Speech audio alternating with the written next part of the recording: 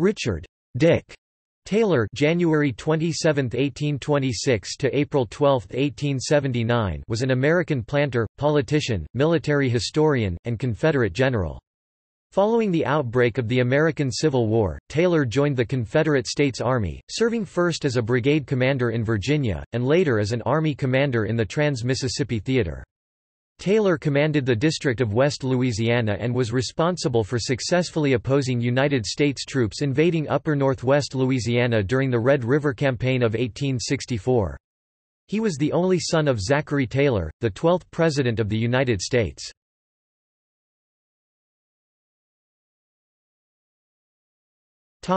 Early years Richard Taylor was born at Springfield, the family's plantation near Louisville, Kentucky to Zachary Taylor, then a lieutenant colonel in the United States Army at the time, and Margaret Mackall Smith Taylor. He was named after his paternal grandfather, Richard Lee Taylor, a Virginian who had served in the American Revolutionary War 1775 Richard Taylor, nicknamed Dick, had five older sisters, two of whom died in childhood before Richard was born. Three lived to adulthood, Anne Mackall Taylor, Sarah Knox Taylor, and Mary Elizabeth Taylor. Much of his early life was spent on the American frontier, as his father was a career military officer and commanded frontier forts, and the family followed him. As a youth, Richard was sent to private schools in Kentucky and Massachusetts. After starting college studies at Harvard College in Cambridge, Massachusetts near Boston, Taylor completed them at Yale in New Haven, Connecticut, where he graduated in 1845. He was a member of Skull and Bones, Yale's social club. He received no scholastic honors, as he spent the majority of his time reading books on classical and military history.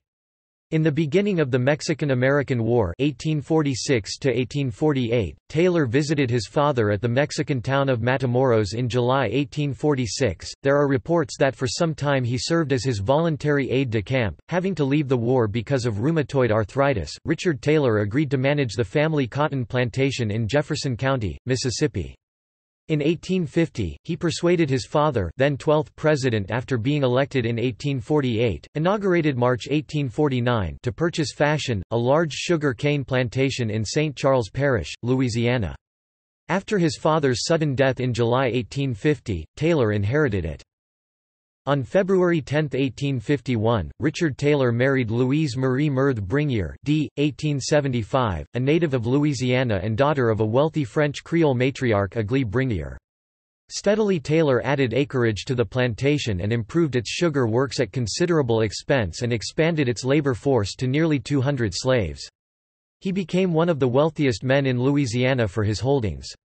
Then the freeze of 1856 ruined his crop, forcing him into heavy debt with a large mortgage on the plantation.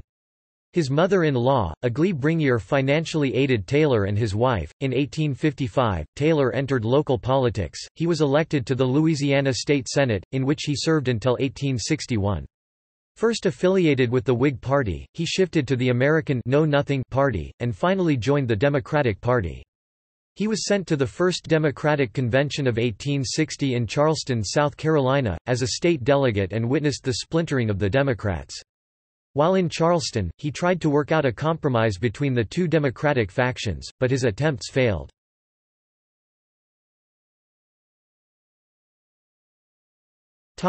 American Civil War When the American Civil War erupted, Taylor was asked by Confederate General Braxton Bragg to assist him, as a civilian aide-de-camp without pay, at Pensacola, Florida. Bragg had known Taylor from before the war, and thought his knowledge of military history could help him to organize and train the Confederate forces. Taylor had been opposed to secession, but accepted the appointment. While training recruits, Taylor received news that he was commissioned as a colonel of the 9th Louisiana Infantry. The members of the 9th Louisiana voted for Taylor because they thought that with Taylor's connections to President Jefferson Davis, who was widower of his late sister Sarah, the unit would be sent out sooner and see battle more quickly. On July 20, he arrived in Richmond with his regiment and received orders from Leroy Pope Walker, Confederate States Secretary of War, to board the train and move to Manassas to take part in the First Battle of Manassas. The 9th Louisiana arrived at Manassas Junction only hours after the battle was won by the Confederacy. On October 21, 1861, Taylor was promoted to brigadier general. Now he commanded a Louisiana brigade under Richard S. Ewell in the Shenandoah Valley Campaign.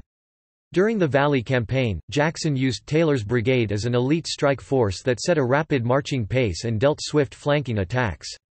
At the Battle of Front Royal on May 23, the First Battle of Winchester on May 25, and finally at the climactic Battle of Port Republic on June 9, Taylor led the 9th Infantry in timely assaults against strong enemy positions. His brigade consisted of various Louisiana regiments, as well as Major Chatham Roberdeau Wheat's Louisiana Tiger battalion. The undisciplined lot was known for its hard fighting on the battlefield, but also for its hard living outside. Taylor instilled discipline into the Tigers and, although Major Wheat did not agree with his methods, Taylor won his respect. Taylor subsequently traveled with the rest of Jackson's command to take part in the Seven Days battles around Richmond. Attacks of rheumatoid arthritis had left him crippled for days at a time and unable to command in battle. For instance, Taylor was unable to leave his camp and command his brigade around this time. He missed the Battle of Gaines' Mill, and Col. Isaac Seymour, commanding the brigade in his absence, was killed in action. Taylor was promoted to the rank of Major General on July 28, 1862. He was the youngest Major General in the Confederacy. When Taylor was promoted over three more senior commanders, they complained of favoritism. President Davis wrote them a letter which noted Taylor's leadership capabilities and promise, and said that he had been recommended by General Stonewall Jackson. He was ordered to Opelousas, Louisiana, to conscript and enroll troops in the District of Western Louisiana, part of the Trans-Mississippi Department, west of the river. The historian John D. Winters wrote that Taylor was to command all troops south of the Red River and was to prevent the enemy from using the rivers and bayous in the area. Troops were to be gathered and sent to fill up the ranks of Louisiana regiments serving in Virginia. After this, Taylor was to retain as many recruits as would be needed in the state. Light batteries of artillery were to be organized to harass passing enemy vessels on the streams. The enemy was to be confined to as narrow an area as possible, and communications and transportation across the Mississippi River were to be kept open. After his service as a recruit officer, Taylor was given command of the tiny district of West Louisiana. Governor Thomas Overton Moore had insistently requested a capable and dedicated officer to assemble the state's defenses and to help counter federal forays into the state. Before Taylor returned to Louisiana, federal forces in the area had raided throughout much of southern Louisiana. During the spring of 1862, Union forces came upon Taylor's fashion plantation and plundered it. Taylor found the district almost completely devoid of troops and supplies. However, he did the best with these limited resources by securing two capable subordinates, veteran infantry commander Jean-Jacques Alfred Mouton, and veteran cavalry commander Thomas Green. These two commanders would prove crucial to Taylor's upcoming campaigns in the state.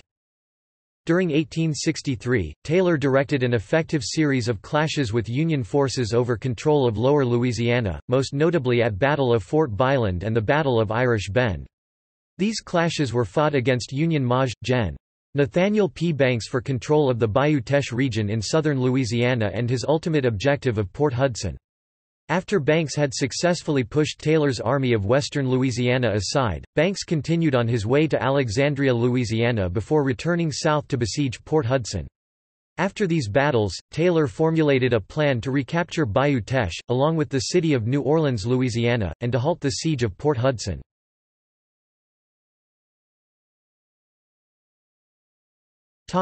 Operations to recapture New Orleans Taylor's plan was to move down the Bayou Teche, overcoming the lightly defended outposts and supply depots, and then capturing New Orleans, which would cut off Nathaniel P. Banks's army from their supplies.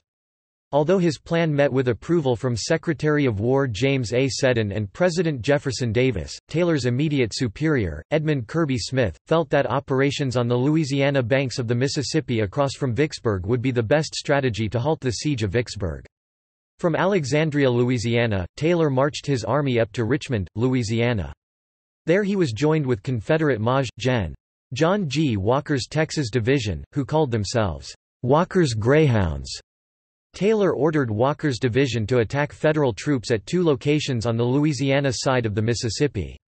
The ensuing Battle of Milliken's Bend and Battle of Young's Point failed to accomplish the Confederate objectives. After initial success at Milliken's Bend, that engagement ended in failure after Federal gunboats began shelling the Confederate positions. Young's Point ended prematurely as well. In response to Confederates summarily executing black U.S. soldiers, U.S. Army General Ulysses S. Grant, wrote a letter to Taylor, urging the Confederates to treat captured black U.S. soldiers humanely and professionally and not murder them. Grant stated the official position of the U.S. government, that black U.S. soldiers were sworn military men and not insurrectionist slaves, as the Confederates asserted they were. After the battles, Taylor marched his army, minus Walker's division, down to the Bayou Teche region. From there Taylor captured Brashear City, Morgan City, Louisiana, which yielded tremendous amounts of supplies, materiel, and new weapons for his army. He moved within the outskirts of New Orleans, which was being held by a few Green recruits under Brig. Gen. William H. Emory. While Taylor was encamped on the outskirts and preparing for his attack against the city, he learned that Port Hudson had fallen. He withdrew his forces all the way up Bayou Teche to avoid the risk of being captured.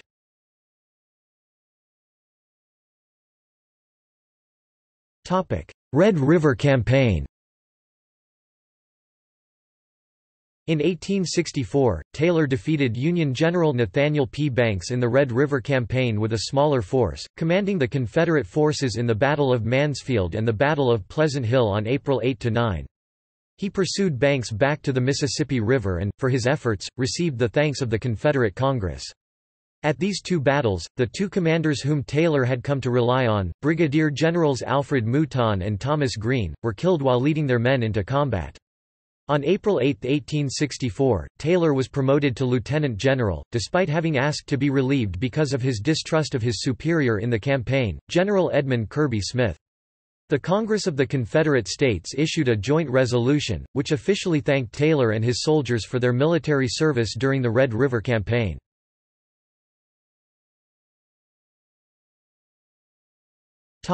Last days of the war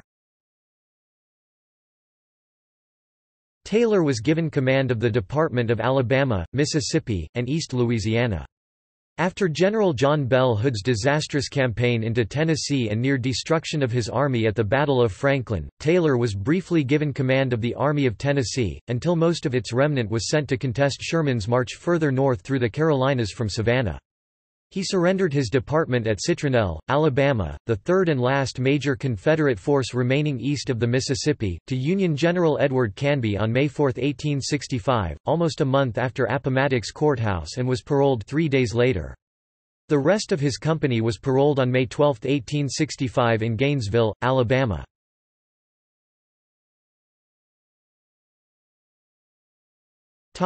Military prowess Taylor did not have any military experience until the Civil War broke out. However, most of Taylor's contemporaries, subordinates, and superiors spoke many times of his military prowess as he proved himself capable both in the field and in departmental command. Nathan Bedford Forrest commented about Taylor, "...he's the biggest man in the lot. If we'd had more like him, we would have licked the Yankees long ago." Charles Erasmus Fenner, an officer in the Confederate Trans-Mississippi Department and post-war Louisiana Supreme Court justice, asserted that, "...Dick Taylor was a born soldier. Probably no civilian of his time was more deeply versed in the annals of war, including the achievements and personal characteristics of all the great captains, the details and philosophies of their campaigns, and their strategic theories and practice." Thomas J. Stonewall Jackson and Richard S. Ewell frequently commented on their conversations with Taylor about military history, strategy and tactics. In particular, Ewell stated that he came away from his conversations with Taylor more knowledgeable, impressed with the amount of information Taylor possessed. It was Stonewall Jackson who recommended promoting Taylor to Major General and putting him in command of Confederate forces in western Louisiana. Taylor was one of only three lieutenant generals in the Confederacy who did not graduate from West Point the others being Forrest and Wade Hampton III. As for Taylor himself, he modestly attributed his progress as commanding officer during the war to two habits. I early adopted two customs, and adhered to them throughout the war. The first was to examine at every halt the adjacent roads and paths, their direction and condition, distances of nearest towns and cross roads, the country, its capacity to furnish supplies, as well as general topography, etc., all of which was embodied in a rude sketch, with notes to impress it on memory. The second was to imagine while on the march an enemy before me to be attacked, or to be received in my position, and make the necessary dispositions for either contingency. My imaginary maneuvers were sad blunders, but I corrected them by experience drawn from actual battles, and can safely affirm that such slight success as I had in command was due to these customs.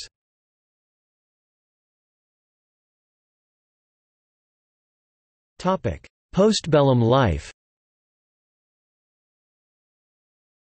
The war resulted in the destruction of Taylor's home and property including his much prized library.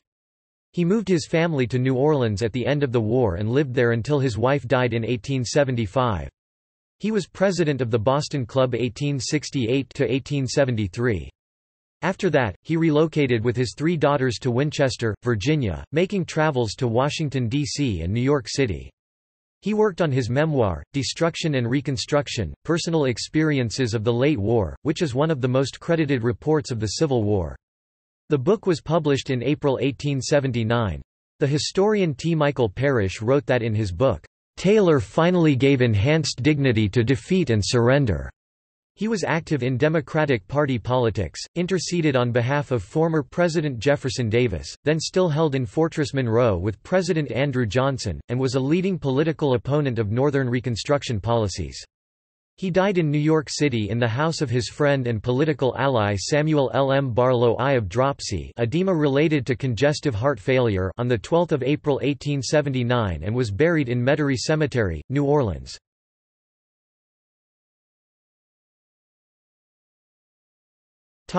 Family Richard Taylor was the only son of Margaret Mackall Smith and President Zachary Taylor. His sister Sarah Knox Taylor was the first wife of Jefferson Davis for three months until her death in 1835. Another sister, Mary Elizabeth Bliss who had married William Wallace Smith Bliss in 1848, served as her father's White House hostess. Although Taylor chose to serve the Confederacy, his uncle, Joseph Pennell Taylor, served on the opposite side as a brigadier general in the Union Army. Richard and Marie Taylor had five children, two sons and three daughters, Louise, Elizabeth, Zachary, Richard, and Merv. Their two sons died of scarlet fever during the war, for which both parents suffered deeply.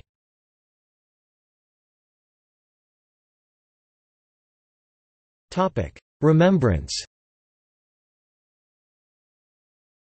The Lieutenant General Richard Taylor Camp Hash 1308, Sons of Confederate Veterans in Shreveport, Louisiana, is named for General Taylor. The camp was chartered in 1971. The former Louisiana State Senator Jackson B. Davis of Shreveport authored a Taylor biography. A complete biography was written in 1992 by T. Michael Parrish, Richard Taylor, Soldier Prince of Dixie. Topic works Taylor, Richard. Destruction and Reconstruction, Personal Experiences of the Late War. J. S. Sanders & Co., 2001. ISBN 1-879941-21-X. First published 1879 by D. Appleton. Works by Richard Taylor at Project Gutenberg Works by or about Richard Taylor at Internet Archive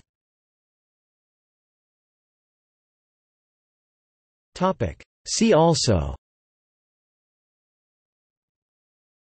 List of American Civil War generals Confederate. Notes